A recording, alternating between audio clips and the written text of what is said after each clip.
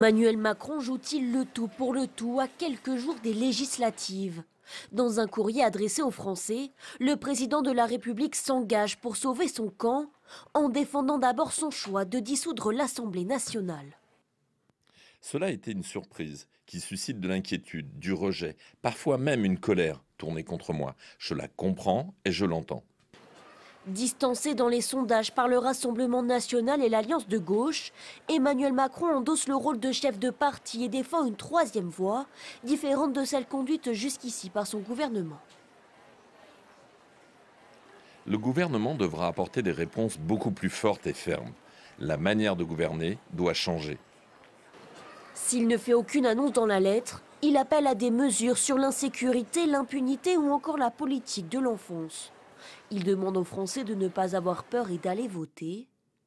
Emmanuel Macron l'assure, il agira jusqu'en 2027, année de la présidentielle.